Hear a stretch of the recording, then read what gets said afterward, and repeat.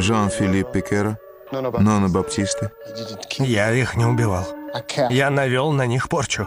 И по случайному стечению обстоятельств они все задохнулись. Чтобы порча подействовала, пришлось их убить. Хороший бизнес, однако. Что это? Следующая часть ритуала. Рассказывай, как ты травил их рецетином.